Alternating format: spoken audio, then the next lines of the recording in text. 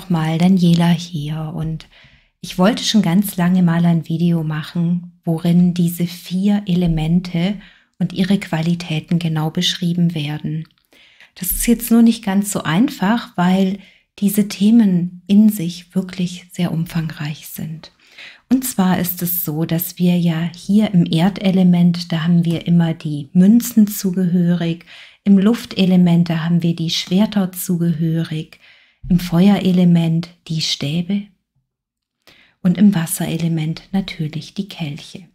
Also das hier sind quasi diese vier Elemente an sich, wie sie im Tarot verkörpert werden, eben die Scheiben oder Münzen, das Erdelement, die Schwerter, das Luftelement, die Asse, ähm, die Stäbe, das Feuerelement.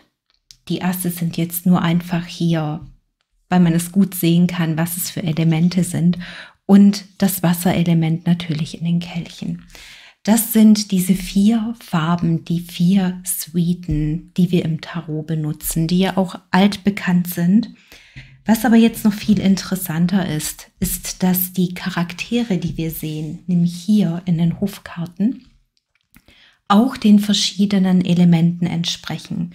Und zwar haben wir hier Könige. Könige gehören immer zum Luftelement. Wir haben die Buben. Buben gehören immer zum Erdelement. Wir haben die Königinnen. Die Königinnen gehören immer zum Wasserelement.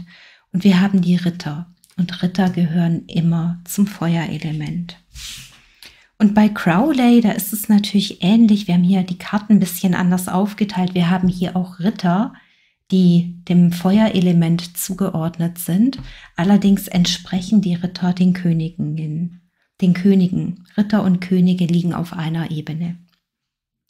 Dann haben wir hier die Prinzessinnen. Prinzessinnen gehören immer zum Erdelement. Wir haben die Königinnen, die natürlich auch zum Wasserelement gehören. Und dann haben wir die Prinzen, die zum Luftelement gehören.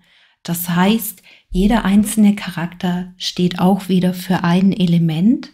Und das ist eben etwas, was dann 16 Persönlichkeiten ergibt. Wir haben jeweils vier Personen in jedem Element. Ne? Beispielsweise hier den Ritter, die Königin, den Prinzen und die Prinzessin oder eben den König, die Königin, ähm, den Ritter und den Buben, je nachdem, in welchem Tarot wir uns befinden und wie alt der Tarot ist. Das Ganze gibt es nämlich natürlich auch schon hier im alten Tarot de Marseille. Da hatten wir eben auch hier die Königinnen, die Könige, die Ritter und eben auch die Buben. Und ja, die kombinieren die Elemente miteinander. Es geht also bei den Hofkarten nicht allein nur um die Elemente, sondern auch um die Interaktion der Elemente untereinander und mit sich selbst. Und ich habe zu diesen Themen 16 Videoblogs geschrieben in denen wir immer jeweils den Tarot de Marseille, den Rider-Waite Smith Tarot und eben auch den ähm, Crowley Tarot anschauen und eben schauen, wie diese Elemente miteinander interagieren. Das heißt, wir sehen die Elemente in Interaktion miteinander anhand menschlicher Charaktere. Und diese menschlichen Charaktere, die finden wir sowohl im Tarot wieder als auch im täglichen Leben. Und das ist etwas, was diesen, ja, was diesen Teil der Hofkarten für mich so wahnsinnig spannend macht. Und ja, wenn dich das interessiert, erfährst du mehr über diesen zweiten Teil von Licht auf Tarot auf meiner Internetseite.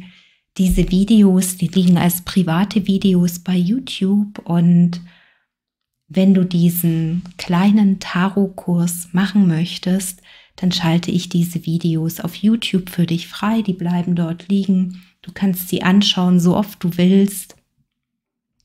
Auch genau zu deiner Zeit, in deinem eigenen Tempo. Und ja, du kannst das entweder benutzen, um ja, dich persönlich weiterzuentwickeln oder eben wenn du sagst, ich möchte einfach auch Karten legen, ich möchte das gerne für mich machen, für Freunde machen, für die Familie schauen, dann wäre auch das ein Weg, ein bisschen tiefer in das Verständnis der Karten einzuschauen. Weil was wir nämlich hier auch sehen, in diesen, gerade auch in diesen alten Karten aus dem Tarot de Marseille, was ich ja so wahnsinnig spannend finde, ist dann zum Beispiel auch, dass wenn wir uns die Königspaare anschauen, wie hier den Königin, äh, die Königin und den König der Kelche im Tarot de Marseille, wir sehen, dass die beiden sich hier immer anschauen. Das heißt, sie sind wirklich ein Paar, sie sind eine Einheit. Und das ist etwas, was wir in den, äl äh, in den neueren Tarot-Systemen einfach so in der Form gar nicht wiederfinden. Von dem her ist es ganz interessant, wie sich die Charaktere auch entwickelt haben in dieser Zeit. Der Tarot de Marseille, der datiert auf 1760. Das ist also eine Zeit, in der gab es tatsächlich noch Königinnen und Könige, die das Land regiert haben und die eben auch ihre Aufgaben inne hatten. Und klar, Anfang 1900 sah das dann schon anders aus. Da war die Rolle der Könige und Königinnen eine andere. Da waren sie einfach schon weniger wichtig. Und im Tarot von Crowley sind sie dann irgendwo ganz frei. Ja, weil sie ihre Aufgaben so auch nicht mehr wahrnehmen müssen und sich einfach frei im Potenzial der Elemente, die sie verkörpern, entwickeln können. Und ja, das ist so eine ganz, ganz spannende Seite des Tarot. Und wie gesagt, wenn dich das interessiert, dann findest du alle Infos auf meiner Internetseite diesen Online-Kurs Licht auf Tarot, den habe ich in drei Teile aufgeteilt. Der erste Teil beschäftigt sich mit den großen Arkana, der zweite Teil mit den Hofkarten und der dritte Teil mit den kleinen Arkana. Und dieser erste Teil mit den großen Arkana, der ist demnächst fertig, wird auch demnächst online bereitstehen. Dann diesen Teil hier mit den Hofkarten, der ist eben bereits fertig und verfügbar. Und die kleinen Arkana, die ziehe ich dann nach im Herbst und ja, wie gesagt, diese Videoblogs stehen bereit.